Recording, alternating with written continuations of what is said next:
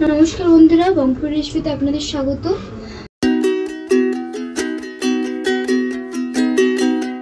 তো অনেক দিন কোনো না কোনো কারণে আপনাদের সঙ্গে দেখা হয়নি বা আমি ভিডিও দিতে পারিনি। তো আজকে আমি আবার একটা নতুন রেসিপি নিয়ে আপনাদের কাছে চলে এসেছি। এঁচড়ের তরকারি। তো, চলুন শুরু করা যাক। তো, আমি এঁচড়গুলো ভালো করে কেটে নিয়েছি। এগুলোকে আমি সেদ্ধ করব।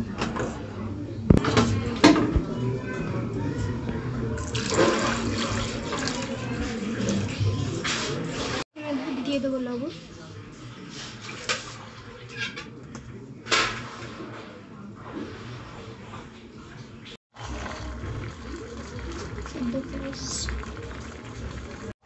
এঁচোটা আমার সেদ্ধ হয়ে এসছে, এবার আমি এতে দিয়ে দেবো একটু হলুদ গুঁড়ো, যাতে না কালো হয়ে যায়।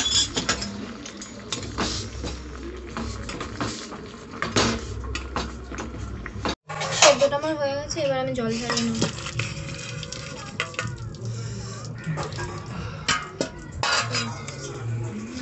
কড়াইটা আমার গরম হয়ে গেছে, এবার আমি দিয়ে দেবো সর্ষের তেল।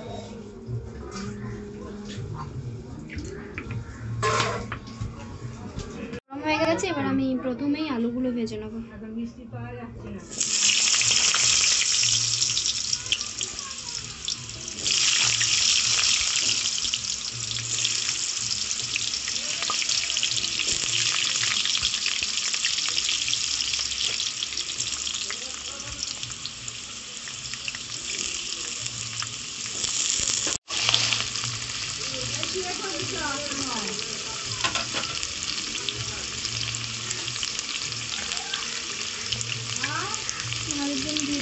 হালকা করে লবণ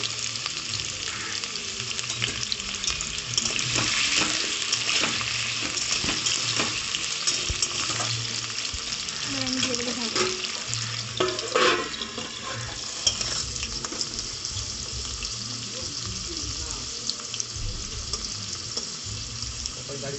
আলুটা মোটামুটি ভাজা হয়ে এসছে। এবার আমি এতে দিয়ে দেবো হলুদ গুঁড়ো।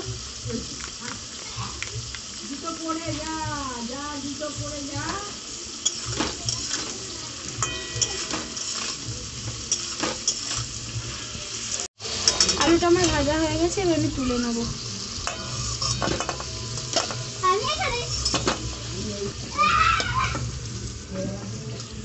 আমি দিয়ে দেবো তেজপাতা। শুকনো লঙ্কা। দিয়ে দেবো জিরে ফোড়ন।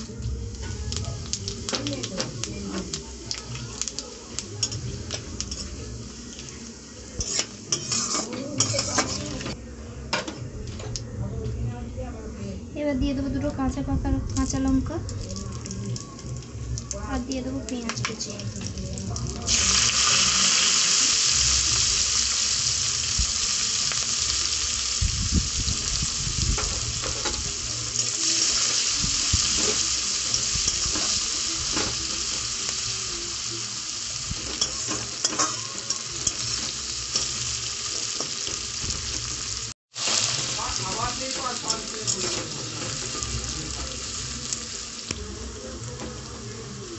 পেঁয়াজটা আমার লাল লাল করে ভাজা হয়ে এসছে। এবার আমি এতে দিয়ে দেবো আদা রসুনের বাটা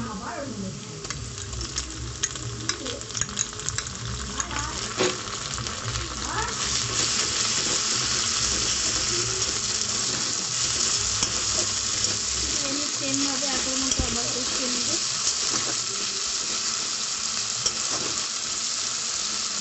রসুন দিয়ে কষানোটা হয়ে গেছে, এবার আমি দিয়ে দেবো টমেটো কুচি।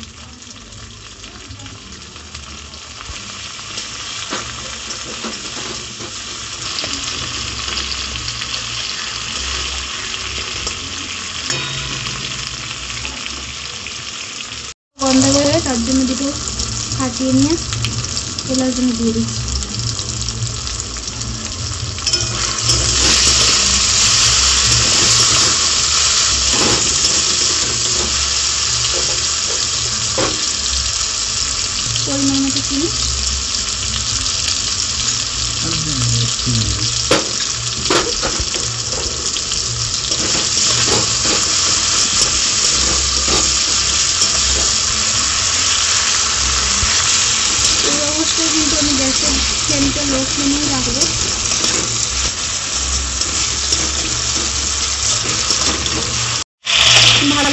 সব কিছু কষানো হয়ে গেছে।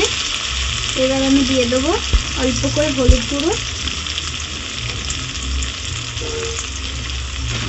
আর দিয়ে দেবো লঙ্কার গুঁড়ো।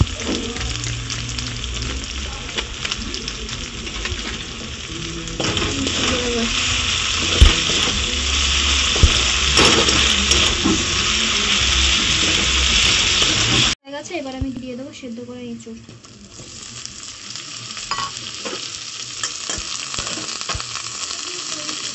দিয়ে আমি ভালো করে কষাবো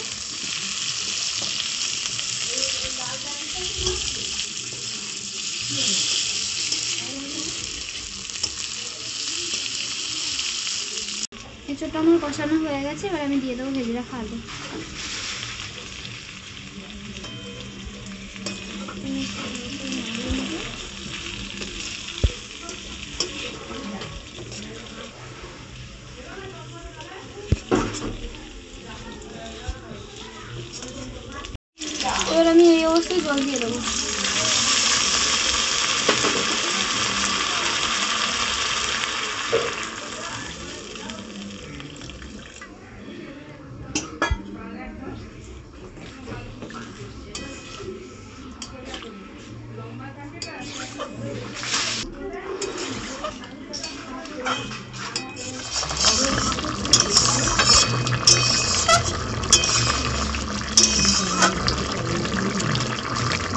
যেহেতু আমি ভাগের সময় লবণটা দিয়েছিলাম তো এবার আমি অল্প করে নিই হয়ে যাবে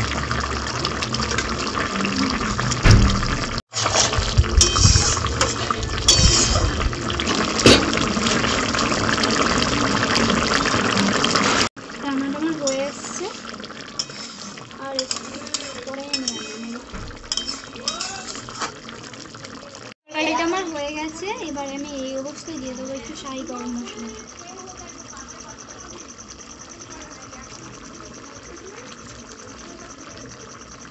একটু নাড়িয়ে নেব